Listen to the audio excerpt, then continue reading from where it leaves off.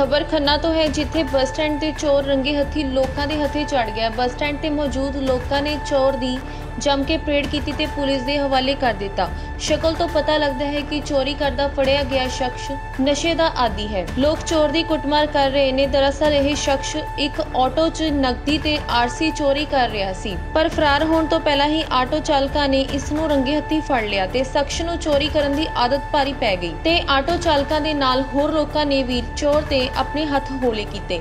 ਚੰਗੀ ਤਰ੍ਹਾਂ ਛਿੱਤਰ ਪਰੇਡ ਕਰਨ ਤੋਂ ਬਾਅਦ ਲੋਕਾਂ ਨੇ ਇਸ ਨੂੰ ਪੁਲਿਸ ਦੇ ਹਵਾਲੇ ਕਰ ਦਿੱਤਾ। ਫਿਲਹਾਲ ਪੁਲਿਸ ਇਸ ਸ਼ਖਸ ਦੀ ਕਾਰਵਾਈ ਕਰ ਰਹੀ ਹੈ। ਜਿਹੜੇ ਚੋਰ ਸੀਗਾ ਨਾ ਉਹ ਆਟੋਆਂ ਦੇ ਗੱਲਿਆਂ ਚੋਂ ਪੈਸੇ ਕਦੇ ਆਰਸੀਆਂ ਕੱਢ ਲੈਂਦਾ ਸੀ ਕਦੇ ਕੀ ਕਰ ਲੈਂਦਾ ਸੀਗਾ ਤੇ ਆਪਣੇ ਨਸ਼ੇ ਪੱਤੇ ਪੂਰੇ ਕਰਦੇ ਨਸ਼ੇ 'ਚ ਰੱਜਿਆ ਪਿਆ ਸੀਗਾ ਉਹ। ਚਿੱਟਾ ਪੀਂਦਾ ਸੀਗਾ। ਤੇ ਜੋ ਕੁਝ ਦੇਖਿਆ ਵੀ ਸਾਡਾ ਇੱਕ ਬੰਦਾ ਆ ਰਿਹਾ ਸੀਗਾ ਉਹਨੇ ਦੇਖਿਆ ਵੀ ਇਹ ਆਟੋ ਦੇ ਵਿੱਚ ਉੱਪਰਾ ਬੈਠਾ।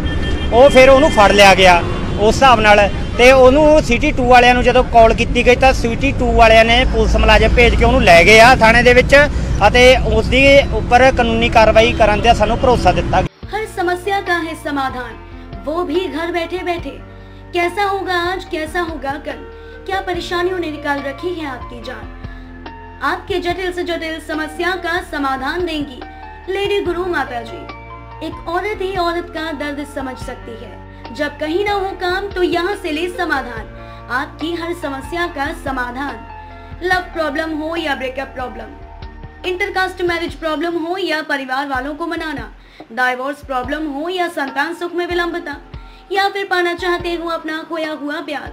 डिप्रेशन टेंशन या मनी प्रॉब्लम कैसे बदलेगा आपके जीवन का हाल? अभी संपर्क करें लेडी गुरु माता जी को।